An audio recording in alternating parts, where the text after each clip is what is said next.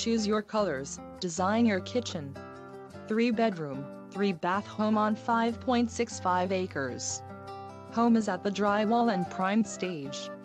Kitchen and living areas have south-facing French doors to covered decks boasting magnificent views of the Como Peaks. Master suite has large walk-in closet, French doors to covered deck and bathroom plumbed for luxurious steam shower.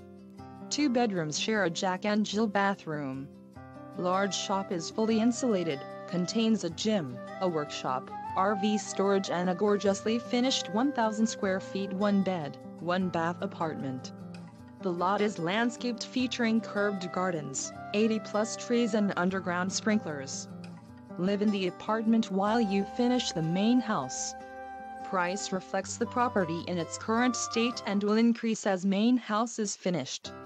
For more information, contact Max Coleman at 406 360 5728.